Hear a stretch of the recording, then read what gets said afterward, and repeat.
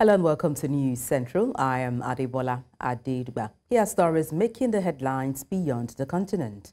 We begin the news in Europe as leaders of the 27 member states gather for an EU summit on migration. European Commission President Ursula von der Leyen says the EU might draw lessons from a contentious Italian policy of processing migrants offshore in Albania.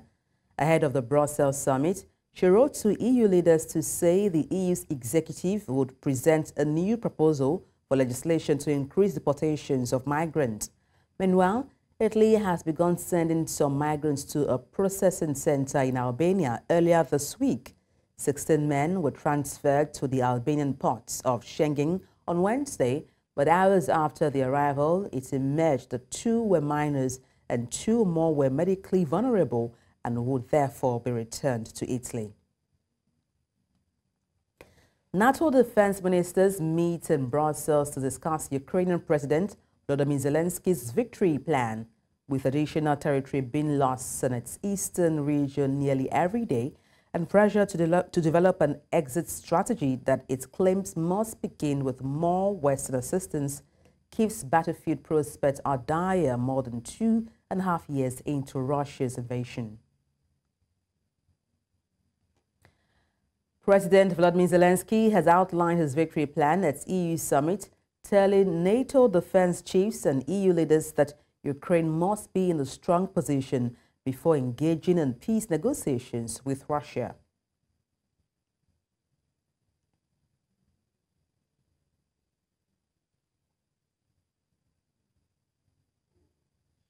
We, as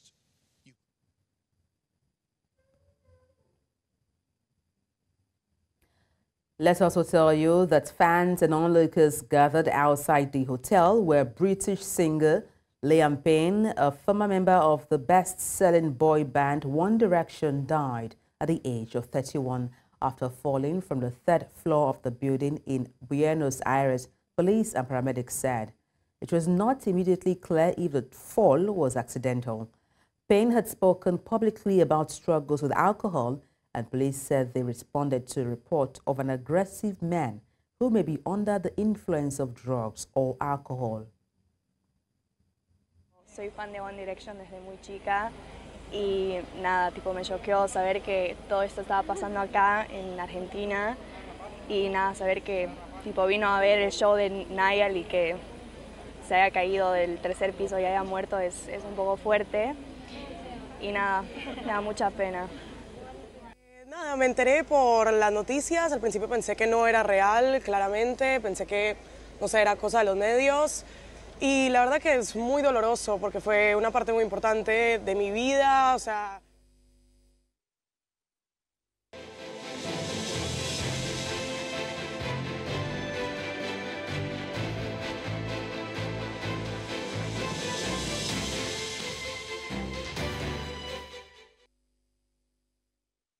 In North America, former U.S. President and Republican presidential nominee Donald Trump told an all-female audience in a pre-recorded town hall that he is the father of IVF, the latest in a series of conflicting stands he has taken on reproductive rights. Elsewhere on the campaign trail, Kamala Harris clashed with Fox News interviewer Bret Baier on hot-button issues, including immigration, with Democratic nominee repeatedly asking, may I finish, when the host talked over her answers.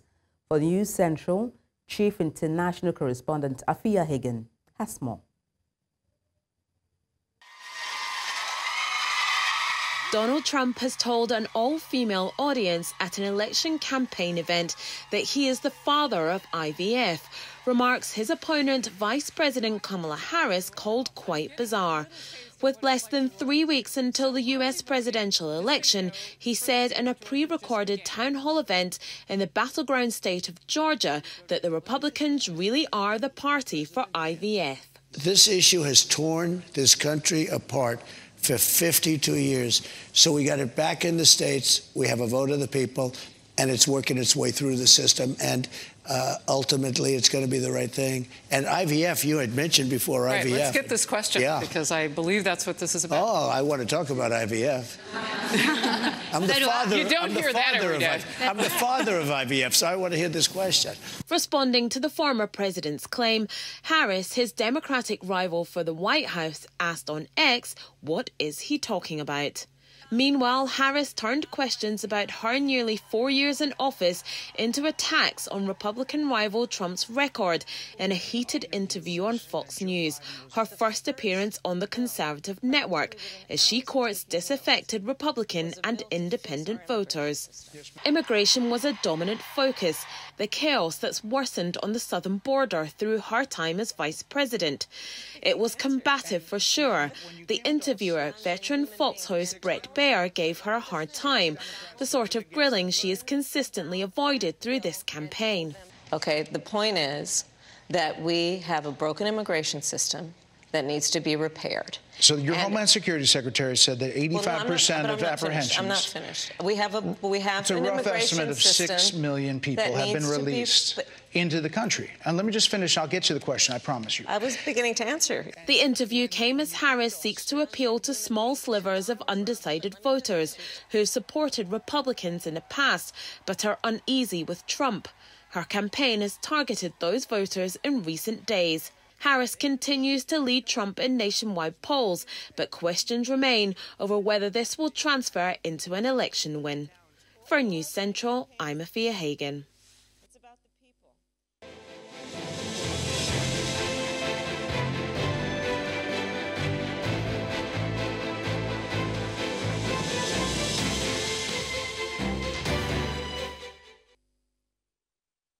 Meanwhile, volunteers from a pro-abortion rights grassroots organization converse outside a Charli XCX concert in Orlando and go door-to-door -door speaking with young voters to rally support for Amendment 4, which aims to restore the right to abortion until fetal viability.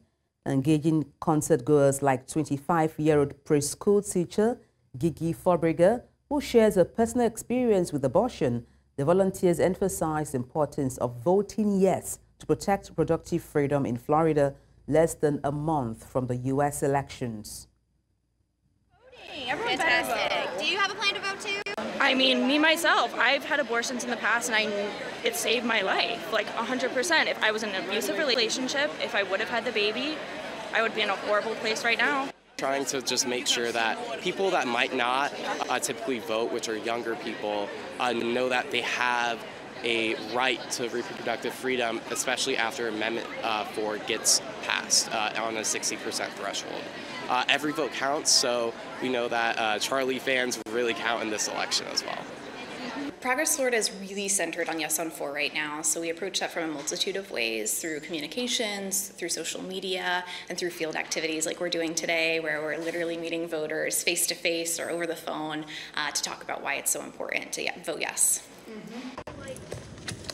Doctor, and, and so I think it's something that should be uh, a conversation that women have with their doctors. Um, I actually um, my very first pregnancy was a miscarriage after like eight weeks. So, I mean, you don't even know sometimes, you know, what's going on. So I think it's really important for women to be able to make those decisions for themselves.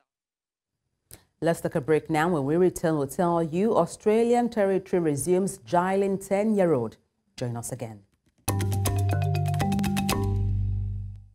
Thank you for staying tuned. In South America, supporters and opponents have gathered in front of the courthouse where former Bolivian President Jeanine Áñez was transferred early on October 17th.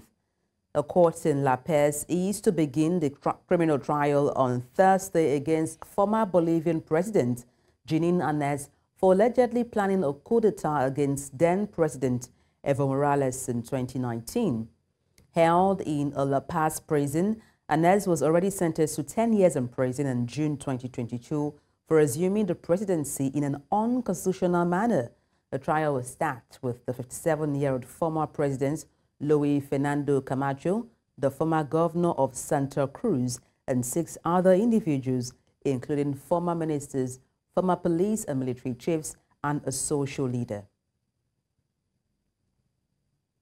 In Oceania, children as young as 10 will soon be able to, to be jailed once again in Australia's Northern Territory after the government there lowered the age of criminal responsibility. Australian states and territories have been under pressure to raise the age of criminal responsibility from 10 to 14, in line with other developed countries and UN advice. Last year, the NT became the first jurisdiction to lift it to 12, but a new country Liberal Party government elected in August has said a reversal is necessary to reduce youth crime rates. However, despite doctors, human rights organizations, and indigenous communities contesting that reasoning, it has maintained that raising that age back to 10 will eventually safeguard children.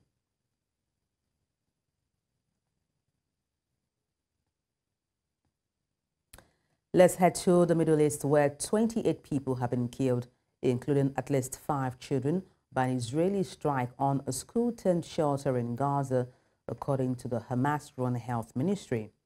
According to Gaza health ministry official Medhat Abbas, the Abu Hussein school in Jabalia, northern Gaza, was sheltering displaced people. He adds that 160 people were wounded in the strike, adding that there is no water to extinguish the fire. Hezbollah lawmaker Hassan Fadlallah says that the Israeli army is not fully in control of any South Lebanon village. Fadlallah, during a press conference at Lebanon's parliament, said Israel has been unable to completely occupy any village and adds that Israel is implementing a scorched earth policy by systematically destroying villages in an effort to establish a buffer zone devoid of people, structures, farms, and trees. بعد مرور شهر على العدوان الواسع على بلدنا فإن جيش الاحتلال لم يترك وسيلة من وسائل القتل إلا واستخدمها. من ارتكاب المجازر ضد المدنيين سواء المقيمين أو النازحين واستهداف رجال الإنقاذ والقطاع الصحي والاستشفائي والمؤسسات الإنسانية والمساجد والكنائس والحسينيات إلى تدمير المنشآت المدنية والبلديات على رؤوس العاملين فيها كما رأينا في أكثر من بلدة وخصوصا بالأمس في النبط. لقد عمد الاحتلال إلى اتباع سياسة الأرض المحروقة من خلال التدمير الممنهج للقرى والبلدات على امتداد المناطق التي يستهدفها لكن خصوصا في الجنوب وعلى خط الحدود حيث يحاول إقامة منطقة عازلة ليس من السكان أيضا من الأبنية You're watching Beyond the Continent. Let's take a short break. Stay with us. Thank you for staying tuned. A bus carrying Japanese tourists veered off a road and crashed into a ditch in Turkey on Thursday, injuring 22 people on board, the state-run news agency reported. The Anadolu agency reports that the accident occurred in the highway in Afyonkarahisar province about 250 kilometers southwest of Ankara. The cause of the accident was not immediately known. However, the injured passengers, including one who was in a life-threatening condition, has been taken to hospitals in Afyonkarahisar.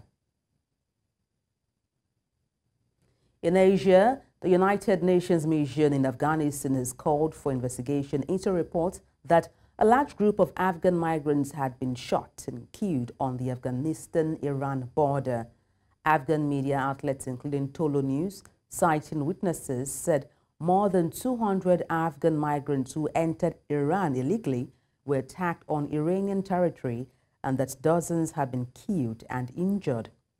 Iran's ambassador to Afghanistan, Hassan Kazemi Qomi, denied the reports of the death of dozens of illegal nationals in a post on X. Afghanistan's Taliban-run administration has not confirmed the incident and said it was investigating. Pakistani police fired tear gas on protesters wielding stakes and throwing objects as at least 400 students in the city of Rawalpindi become the latest to stage demonstration sparked by social media reports of an alleged rape on a college campus in Lahore Hundreds of students have protested at campuses around the city after social media posts reported that a woman was raped at the college by a security guard. Directors of the college, the police and provincial government have said there is no evidence that a rape took place and blamed the reports on false information. Parking में हर दुनिया के घटिया से घटिया building की भी parking में camera है इनकी पार्किंग में कोई कैमरा नहीं है इतनी गंदी इनकी बिल्डिंग है इतना इनके पास पैसा नहीं है कैमरा लगाएँ सब था सारे सबूत थे इन्होंने छुपाया इन्होंने हुकूमत को और जो मेन मेन बंदे थे उनको पैसे दिए कि इनके इदारे का नाम खराब ना हो खुदारा खुदा का नाम लो अपनी तुम्हारी माएँ बेटियाँ जो करना है तमीज से तरीके से इंसाफ से करो I saw that on social media. We got to know that she was raped by security guard. Uh, it was also um, like some sources were saying that uh, uh, the van driver he was also involved in that. Social media पे ऐसे ही तो नहीं ना आ रही एक चीज़ viral हो रही है कि ये बात हुई है। ठीक है हम एक पीसफुल प्रोटेस्ट करते हैं यहाँ पे। पुलिस वालों ने आके बदतमीजी की ठीक है? उन्होंने आके यहाँ पे शेलिंग की वहाँ यहाँ पे फायरिंग की। उन्होंने किस वजह से की? हम अपने हक के लिए निकले हैं। हम जस्टिस के लिए निकले हैं। पीजीसी में जिस लड़की के साथ नाइंसाफ़ी हुई है हम उसके लिए निकले हैं। ठीक है? और ये जो है कि फेक न्यूज़ है this is not a fake news this is a real news and hundred percent sure Meanwhile, India's Foreign Ministry spokesman Randhir Jaiswal slams Canadian Prime Minister Justin Trudeau over his handling of disastrous diplomatic fallout following the 2023 killing of a Sikh separatist in Canada. According to him, Canada has leveled the serious allegations but has so far not given any evidence to back it up.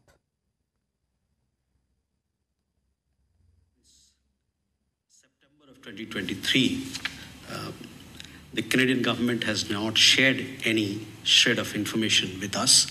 Yesterday, again, after the public inquiry, public uh, hearing, we had again issued a statement saying that Canada has leveled serious allegations but has so far not given any evidence, any evidence to back it up. As regards the allegations, PM Trudeau's own admission yesterday would indicate the value of these uh, allegations. As regards our stance, we will naturally reject false imputations against our diplomats. India Canada economic ties are robust and strong. We have a large diaspora resident in Canada. Uh, our students form the largest cohort of international students in the country. Uh, several large Canadian pension funds are invested in India, and Canada is a major beneficiary of these linkages and ties. Finally, a Bangladeshi court has ordered an arrest warrant for former Prime Minister Sheikh Hasina, who fled to India in August after she was ousted by mass protest. Hasina is wanted by Bangladesh International Criminal Tribunal for her alleged involvement in crimes against humanity that took place during demonstrations in which hundreds were killed.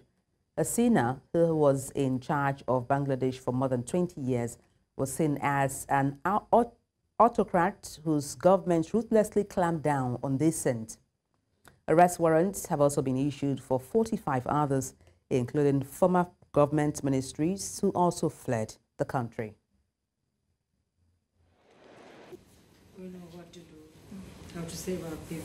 আজকে বাংলাদেশের জুলাই, আগস্ট অভ্যুত্থানের পরবর্তী নতুন বাংলাদেশের ইতিহাসে আজকের দিনটা একটা স্মরণীয় দিন হয়ে থাকবে। আদালত আমাদের আবেদন মঞ্জুর করে সাবেক প্রধানমন্ত্রী শেখ হাসিনাকে গ্রেপ্তার করার জন্য নির্দেশ দিয়েছেন এবং আঠারোই নভেম্বরের মধ্যে তাকে গ্রেপ্তার করে এই আদালতে উপস্থিত করার জন্য নির্দেশ দিয়েছেন। আজকে জুলাই, আগস্টে পরিচালিত ম্যাসাকার হত্যা গণহত্যা এবং মানবতা বিরোধী যে অপরাধ যারা করেছিলেন তাদের শীর্ষে যিনি ছিলেন তদানীন্তন প্রধানমন্ত্রী শেখ হাসিনা তার বিরুদ্ধে আন্তর্জাতিক অপরাধ আদালতে অপরাধ ট্রাইব্যুনালে আমরা আজকে গ্রেফতারি পরোয়ানা জারি করার জন্য আবেদন জানিয়েছিলাম And that's all on Beyond the Continent. You can watch News Central live on DSTV, channel 422, Star Times, channel 274, Avo TV, and YouTube. Many thanks for watching. I am Adebola Adirba. It's bye for now.